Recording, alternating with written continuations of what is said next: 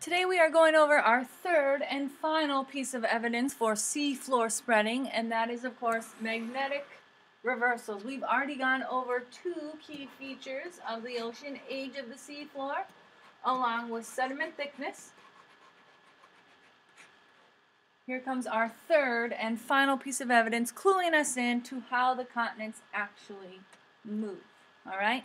Before we can really understand magnetic reversals, we have to know a little bit about the Earth's magnetic field. It does have a magnetic field around it, and that is because of the Earth's core. All right. The outer core is completely liquid metal. You may remember from our discussions earlier, it is mostly iron with some nickel deep inside of the Earth. And because the Earth rotates, the liquid core also moves inside, creating this magnetic field around Earth. Now we've seen the magnetic field in action in compasses, right? The little tiny needle inside a compass is always going to point towards the north, as that is the direction that the magnetic field points, okay? We also are thankful for the magnetic field as solar flares from the sun send off high energy particles into the universe, some of them headed towards Earth. The magnetic field acts like a little barrier and keeps those particles outside of the Earth's atmosphere, keeping us nice, safe here on our planet. Now, if we could see the magnetic field, it would look something like this. We, of course, can't see it. However, there are multiple layers to it. So on that diagram you have on the right-hand side, go ahead and just draw in a couple of the layers of the magnetic field so you get an idea of what's going on out there in space. Okay, this one does have the little needle on it too, pointing to the north. Okay, so what does that magnetic field then have to do with the ocean? Well, we know the ocean is, of course, made of basalt. And basalt, being an igneous rock, had to form from either cooled magma or lava. Now we know that magma and lava is that hot molten rock inside the earth or on the earth's surface. It's coming from inside the earth, so it's going to have those iron-rich minerals just like we find inside of the earth. Now those iron-rich minerals have a magnetic property. So there are some minerals inside the basalt at the bottom of the ocean that align just like the compass arrow to the magnetic field.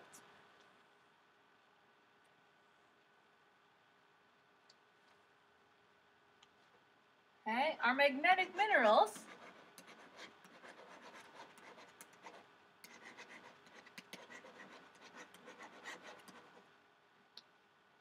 as they cool inside the rock, they record the direction of the Earth's magnetic field.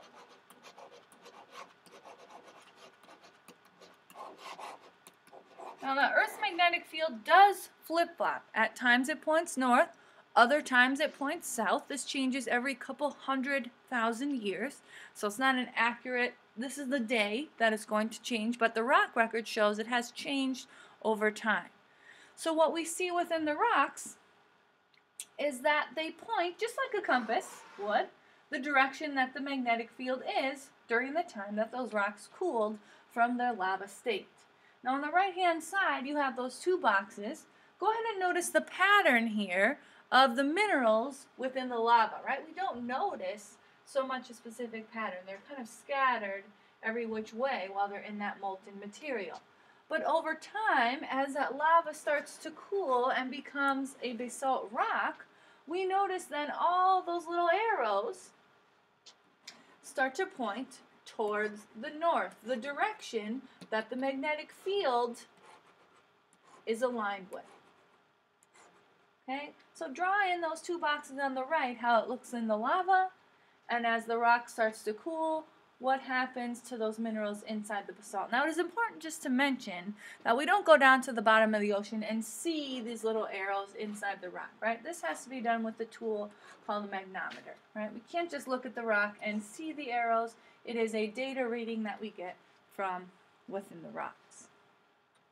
Now as mentioned, the Earth's magnetic field does flip-flop over time, so we have a name for each stage that the magnetic field can be in. We can have what we call normal polarity.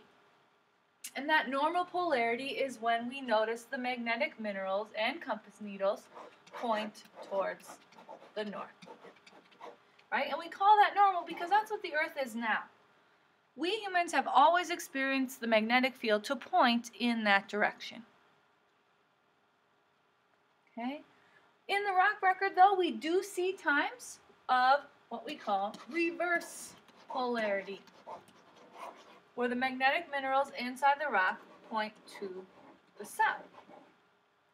Okay?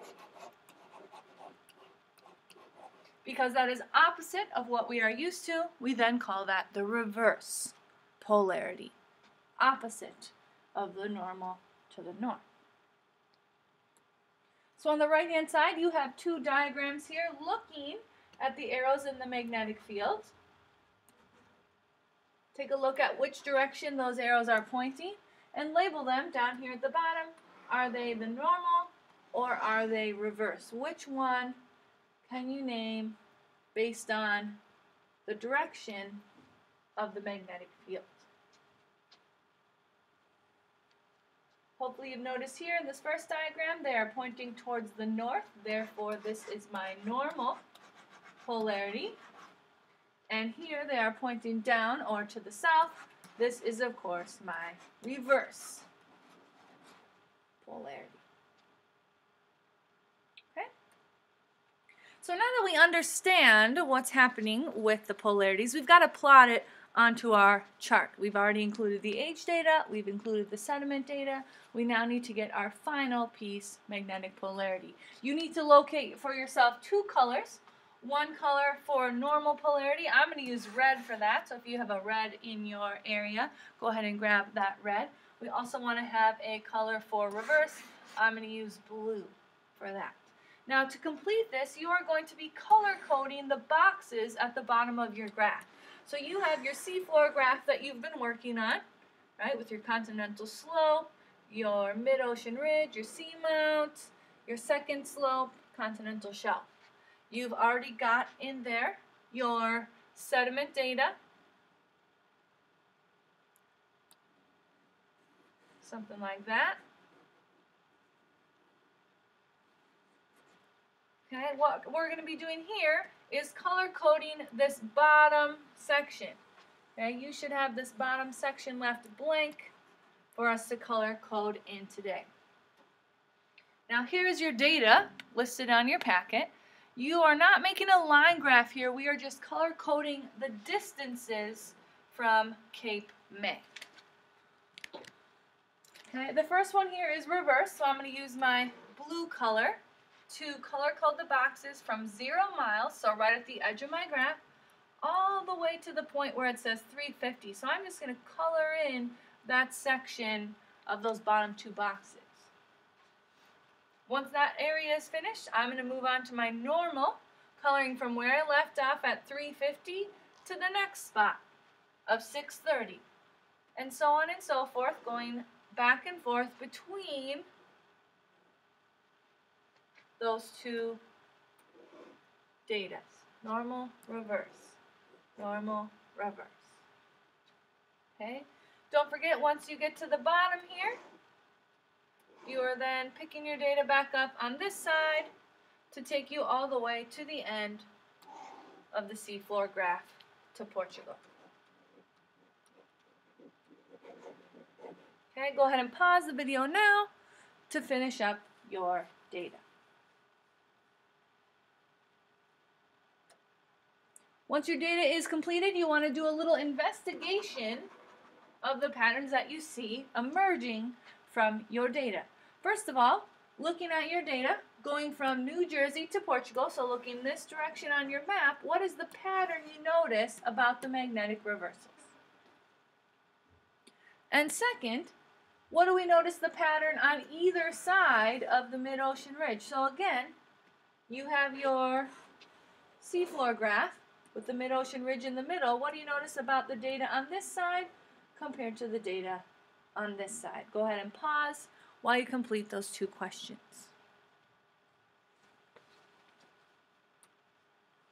Okay, so here's a sample uh, data from a mid-ocean ridge, we want to label on here where we have a normal and where we have a reverse. Okay, um, this section here, the black section, we see that is when we have a positive magnetic reading from our magnometer machine.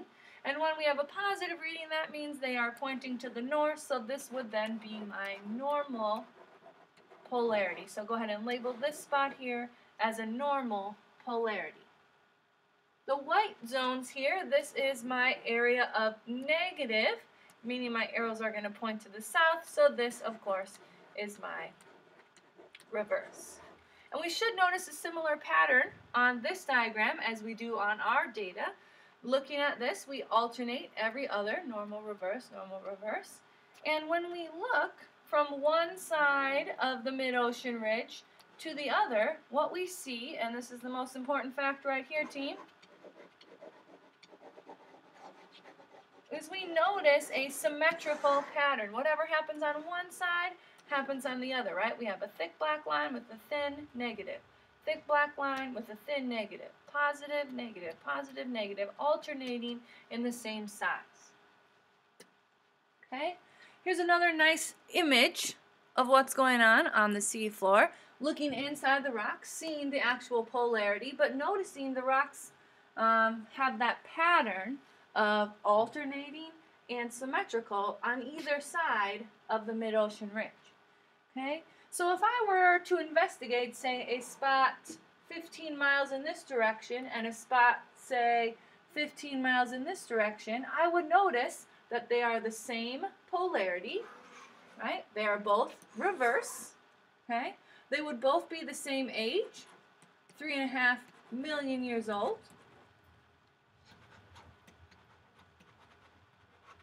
And they would both have the same amount of thickness, on them because they're in the exact same spot on either side of the mid-ocean ridge, right? That word symmetrical comes back into play. Okay? Kind of talking about the same thing here. On either side of the mid-ocean ridge, we notice the same magnetic polarity, the same age, the same exact rock type, meaning they had to come from the same exact rock formation. So our last big point here, guys, is this tells us that each pair of stripes on either side of the ridge must have formed at the same time. Right? And they must have formed not only at the same time, but also from the exact same place, the mid-ocean ridge. Right? Or the MOR, being our most important ocean feature at this point. How this occurs? We know the magma then pushes up from that mid-ocean ridge, or the MOR, and it slowly cools and starts to create new crust right at that spot. Okay, as that new crust is created, it pushes the older crust apart and further away from the mid-ocean ridge. Over time, as that crust continues to grow, and keep coming out of the mid-ocean ridge, we notice that those continents are moving further and further apart. Right? Since Pangea occurred 20 million years ago, we've noticed the continents getting further and further apart, millimeters a year. Okay? Last thing we have to do then is just add a few things to our diagram. You want to make sure that you add in magma underneath the mid-ocean ridge, just a little pool of it showing that it's coming up and out of that spot on the mid-ocean ridge, right? And as that occurs, put in some arrows showing the direction of those plates. So as that magma comes up, just like we saw in our demonstration, the crust moves apart at that location, moving away from the mid-ocean ridge as this new magma oozes up and pushes that older crust away from the younger crust, the mid-ocean ridge. Okay? You've got a couple questions to answer in your summary as we've completed our notes. Make sure those are ready for the next time we meet.